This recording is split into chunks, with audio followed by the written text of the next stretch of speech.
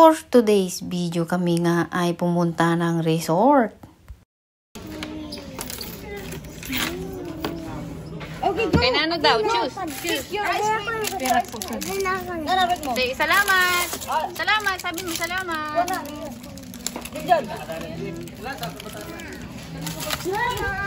Hola, kuya, nag-thank you mga Brenda. Hoy. Sino pa? Sino pa?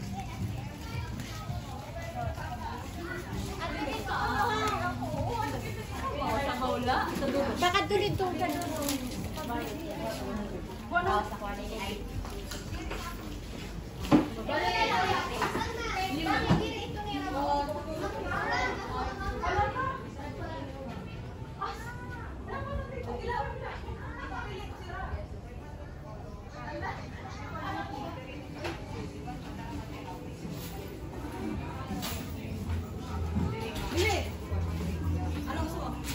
Yung pinakamahal. At nakita nyo nga naman ang kaguluhan. So ito na nga yung iba, kalahati pa lang noon ang bisita na nakita ninyo. So parating pa lang yung iba.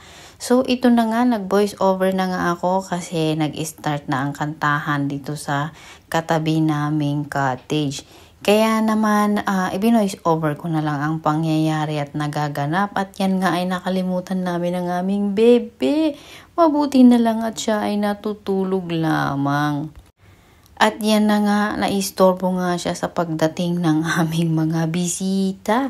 At yan nga, lahat na nga sila ay nanggigil sa kanyang kakyutan. By the way, nandito nga kami sa isang resort dito sa Northern Samar kami nga ay naimbitahan sa birthdayhan at uh, syempre tatanggihan pa naman natin ang birthdayhan. Syempre tayo ay sasama. So ipapakita ko nga sa inyo ang kanilang pool. Ito nga ang pool nila. At uh, ayan, nag-video-video ako dito. Inuna ko ng um, sinorbe ang area. Ayan. Siyempre, para mayroon tayong content, o ba? So, kailangan kong i-voice over na ito dahil ang kantahan naman ay talagang kabilaan na. At ito na nga, nagsipagdatingan na nga ang mga handa, ang daming prutas, at bumalik ako talaga sa swimming pool. Hindi ko alam kung bakit ganun kagulo ang aking video kasing gulo din ang aking voice over. Feeling ko para akong lasing ngayong araw na ito. Pero actually pagod na kasi ako kaya ayan ang aking voice over ay hindi ko na rin maintindihan. Kaya naman itutuloy ko pa rin nandito nga ako sa resort sinusurvey ko na nga siya. Tinitignan ko kung ano ang ikinaganda at maganda at ikakaganda pa ng lugar na ito. O, oh, ba? Feeling mo ako ang may-ari. Na-amaze nga din naman ako sa pagiging natural pa rin nitong resort na ito. Hindi pa siya masyadong natidevelop, hindi pa sila nagkakat ng mga kahoy-kahoy, pero mas maganda para sa akin siguro yung natural look lamang. Siguro konting maintenance lang here and there para mas lalong um, makaakit sila ng mga tourists, pero feeling ko this area ay more on sa pagkain ang ang ipinupunta ng mga tao dito. Parang I heard na magaling ang mga cook nila dito, mga chef nila. Parang perfect itong lugar na to kung gusto nyo ng katahimikan. Feeling ko mas na-appreciate ko yung ganitong nature lang, yung hindi masyadong nade-develop, hindi masyadong aesthetic yung ba tawag doon. Parang more on natural pa rin yung resort or yung park or yung mga nakikita mong mga tanim-tanim sa paligid. Ang mga yan ay natural lang, yung mga kahoy-kahoy, mga lubi-lubi ang tawag nila dyan sa coconut or sa nyog. Kita nyo naman, naglalaglagan pa yung mga so, palatang-palatang sa Ilocano yan. yan. So, ayan na nga. Ewan ko bakit ako hinihingal habang nagbibideo, ano, nagbibi, nagbibideo call habang nagbo-voice over. I'm sorry pero parang wala ako sa sarili ko. Siguro dahil sobrang pagod ko today.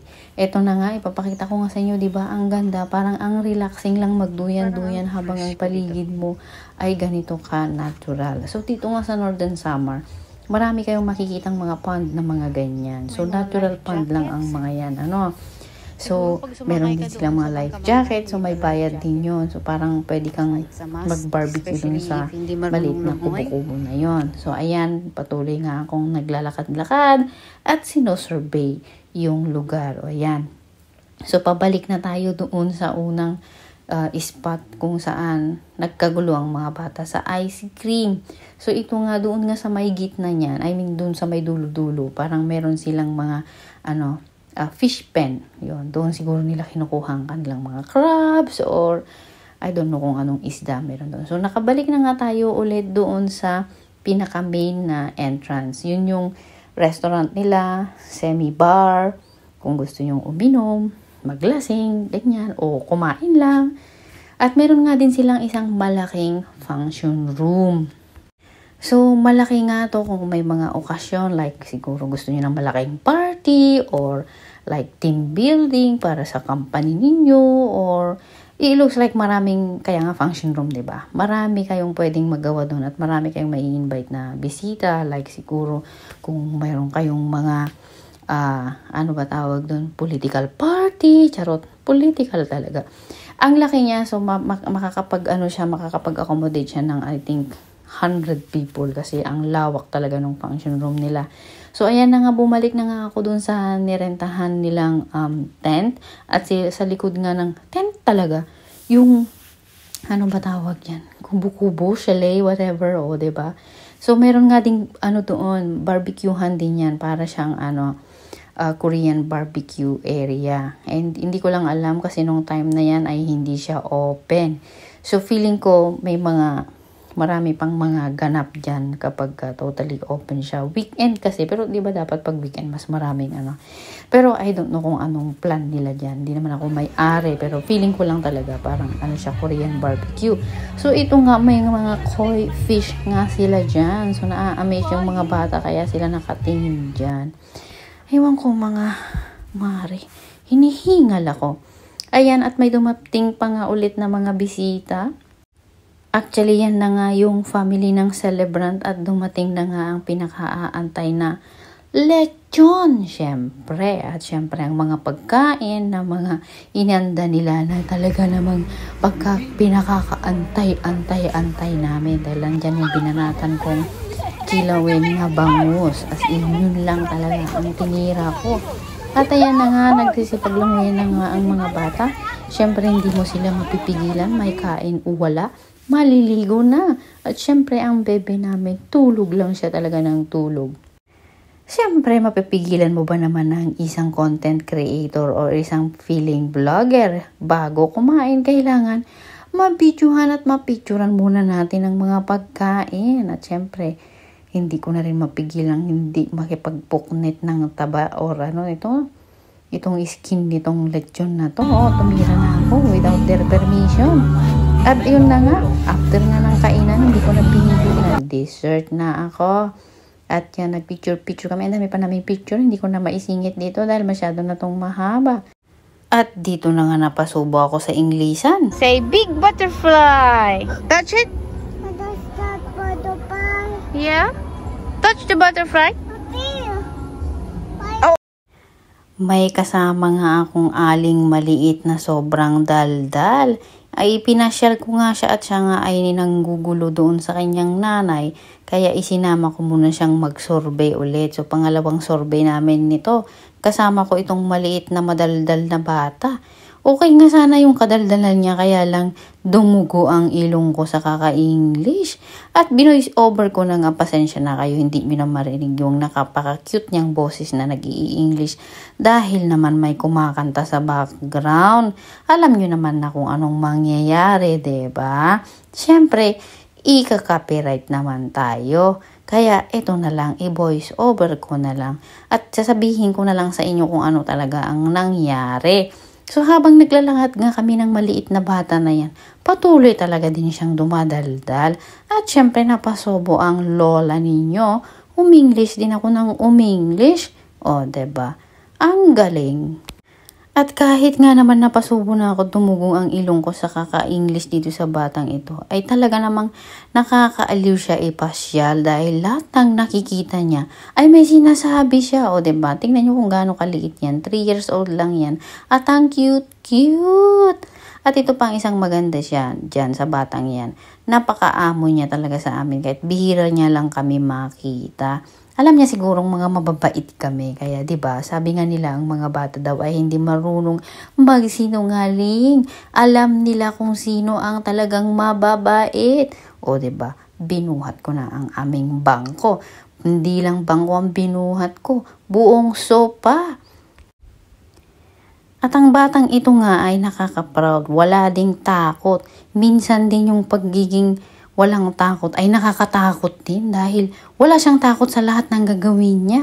Tingnan mo yung mga matatanda nung nag-cross dito sa hanging bridge na to. Natatakot pa sila. Siya ay walang katakot-takot. Ako na ang natatakot para sa kanya. Eh, dahil ang isa kong kamay ay hawak ang kamera syempre. At isa kong kamay lang ang nakahawak sa kanya. O, ba diba? Apakan pa talaga ang butas. Sino naman ang hindi ninervyosin? Pero yun na nga, nag-enjoy ako pa na itur itong batang ito dahil hindi ka din naman talaga mabombor pag siya ang kasama mo dahil wala ding tingil ang kanyang pagdadaldal.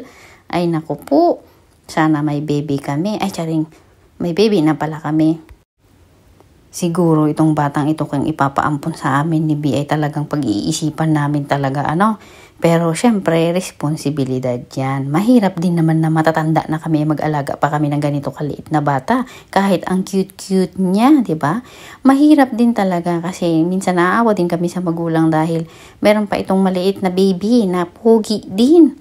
Sa totoo nga lang ang bait-bait nitong batang ito. Kaya naman, tuwing uh, mayroong kaming time, ay kinukuha namin sa bahay para mayroong kaming laruan. Ginawang laruan yung bata. Ay sa wakas, malapit na rin kami makarating sa dulo. Inabot kami ng siyam-siyam sa pagtawid eh. Tignan nyo naman kasi si Aling maliit. Siyempre, ang hakbang niya ay kaliliit lang din. O, tignan nyo. Marunong din naman siya magdahan-dahan. Although wala talaga siyang takot. Tingin-tingin pa talaga siya sa baba. O, ayan, di ba na-stranded sila. Kakaantay nila makarating kami. Ayan, at bumalik na nga kami doon sa cottage na kanilang nirentahan at yun na nga si B dumidiskarte na magtitinda na siya ng ice candy. Mm, yan, isa sa paborito kong ice candy. Actually, sa Northern Summer, ang tawag nila dyan ay salad. Sa amin, ice candy yan eh. Siyempre, ang pinakamahalaga sa lahat kapag ikaw ay pumupunta ng birthdayhan. Siyempre, ang Sharon. Ang plastic na yan ay napakahalaga. So, itatabi na nga ni B ang aming pang dinner para meron kaming ulam mamayang gabi ay lechon paksiw na dish na maliwanag. O B, damihan mo yan, kakaunti yan, hindi yan kasya, damihan mo. Walang nakatingin, damihan mo yan. Ayan na nga, dinamihan niya nga, dinagdagan niya ng pansit. O merienda lang yung pansit. Ang dinner, ha? At ayan, natapos na rin ang party and that's all for today's video. Maraming maraming salamat. Bye!